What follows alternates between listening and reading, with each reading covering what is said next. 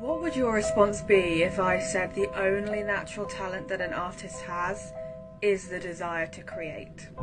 Everything outside of that is a skill that they have learned.